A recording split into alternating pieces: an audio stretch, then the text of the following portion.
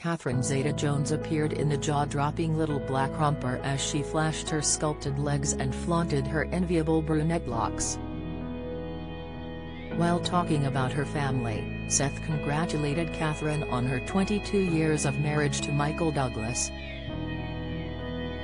The actress seemed a bit awestruck as she realized just how long it has been, and revealed that they have the same birthday, September 25, although there is 25 years difference between them.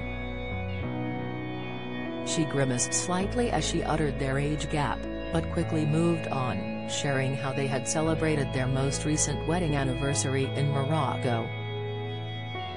The couple have two children together, Karis, 19, and Dylan, 22, the latter of whom escorted his mum to her latest premiere for National Treasure, Edge of History.